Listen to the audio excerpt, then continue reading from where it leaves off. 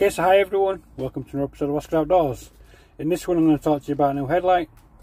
This is the Wurkkos HD20.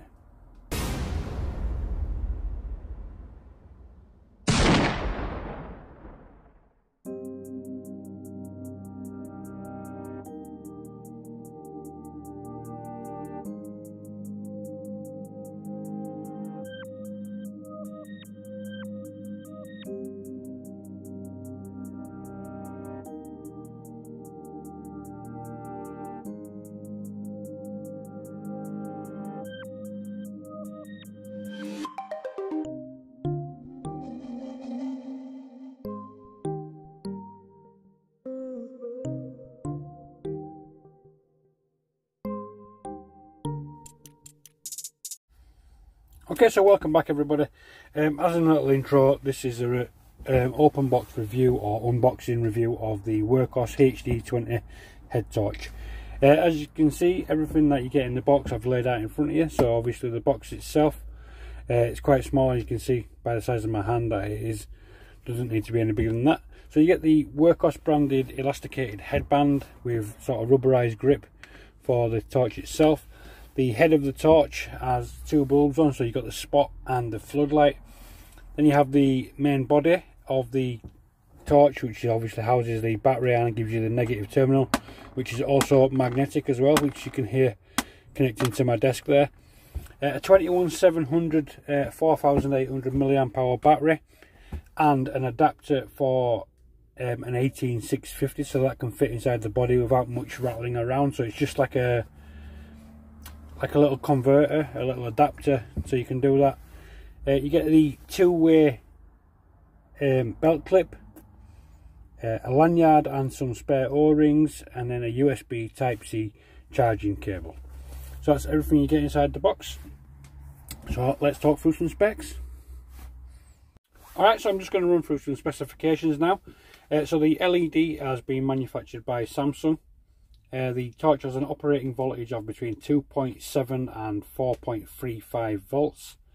Uh, so the battery options are the 21700 which has been provided and then the adapter for the 18650 lithium ion charge, uh, rechargeable batteries.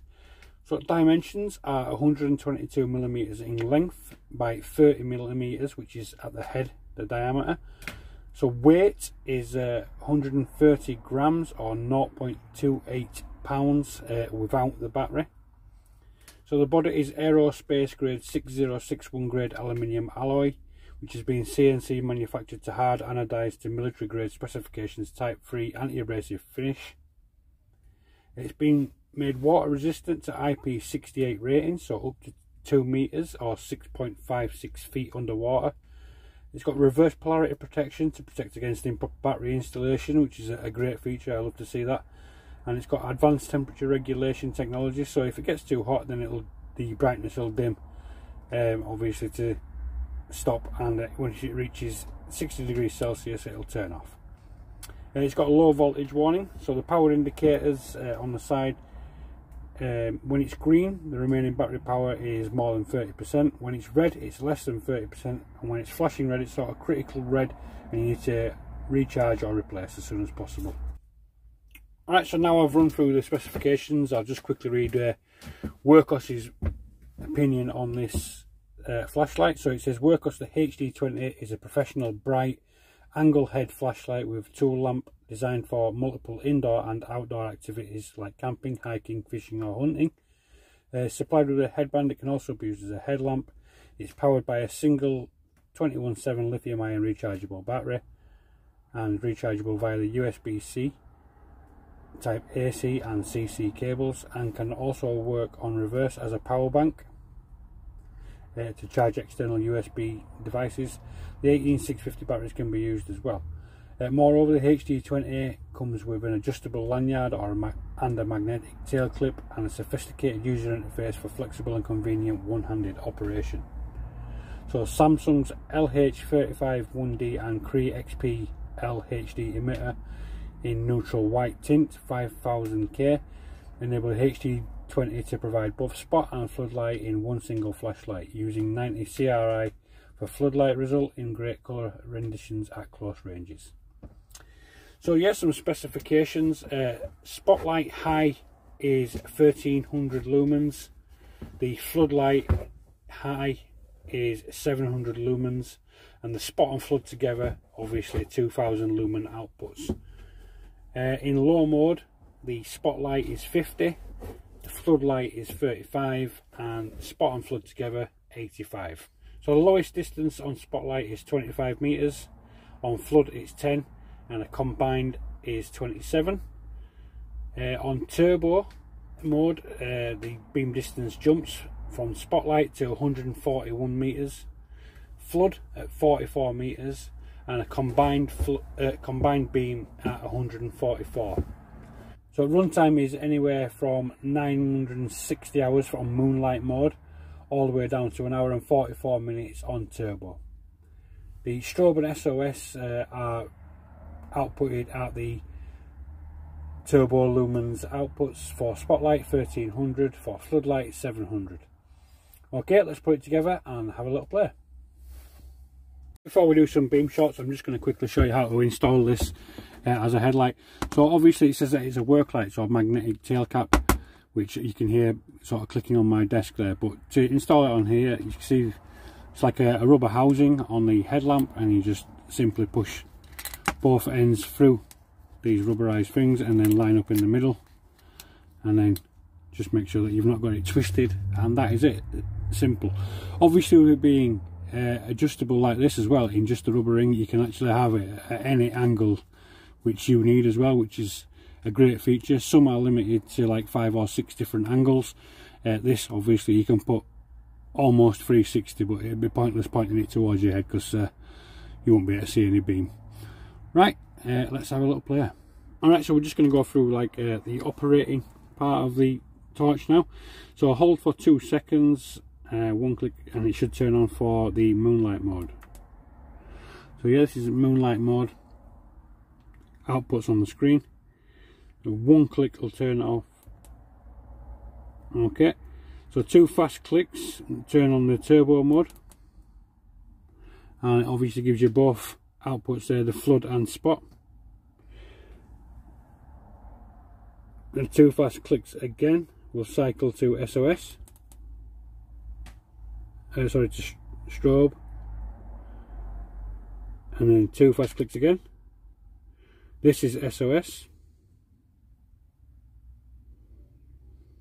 another two fast clicks will be cycle beacon.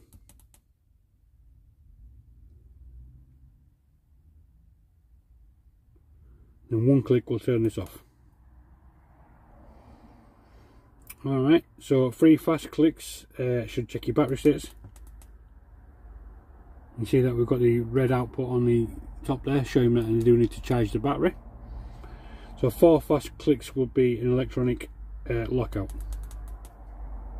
So the flashing indicates that I have successfully activated the lockout and then when I press the button it will flash to tell me that the button's being pressed but not actually activate the torch.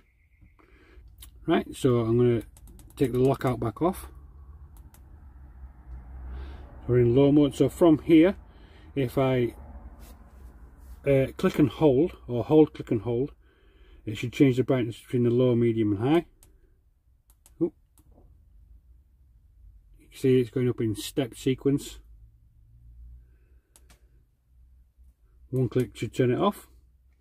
So if I do two fast clicks it should activate turbo which will be uh, both the flood and spot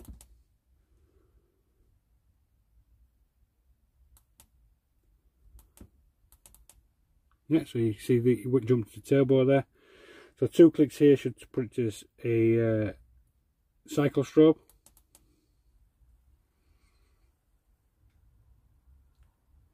Another two clicks should be SOS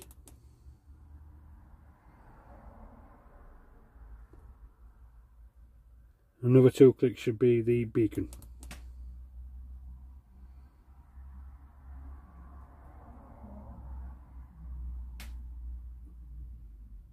one click should return it back uh, to off.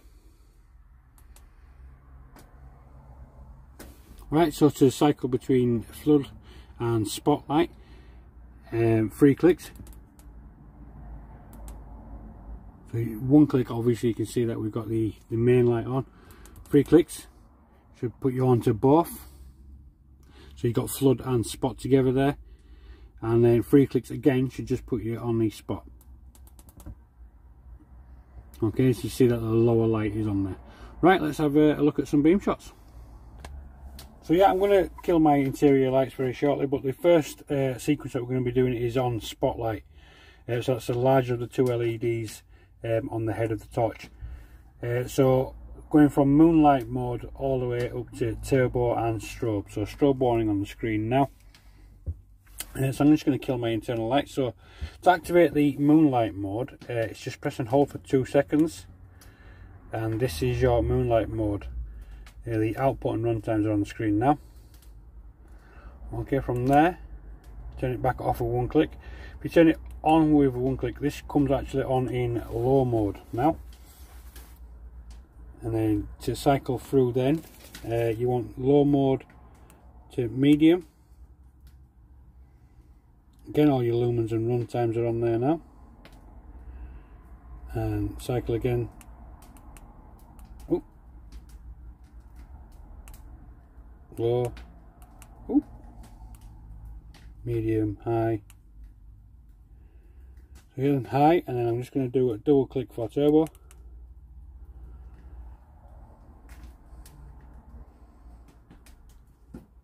Okay and then strobe warning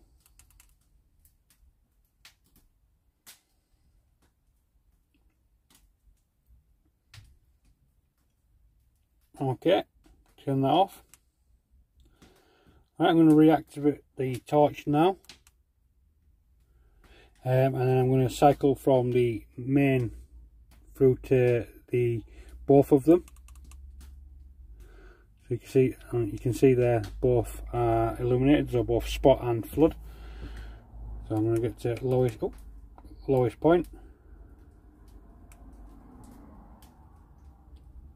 if I turn it off and then press and hold for two seconds that'll come on in moonlight so this is moonlight with both LEDs on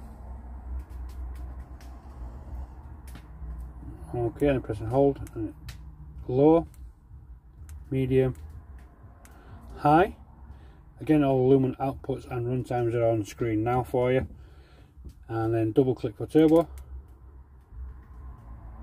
Quite a significant pop there between high and turbo. And then strobe warning.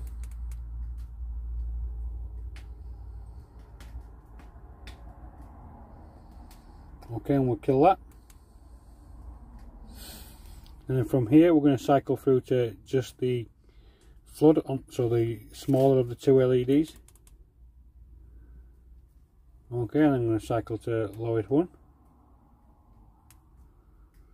turn it off and I'm going to do activate moonlight mode press and hold. This is your moonlight mode. Two second press gives you this low one lumen output. Okay press and hold. This is low. Press and hold again. Medium. Press and hold again. And this is high. And then double tap for turbo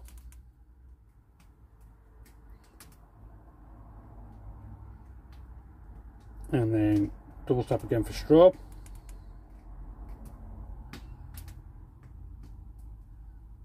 okay and we'll kill that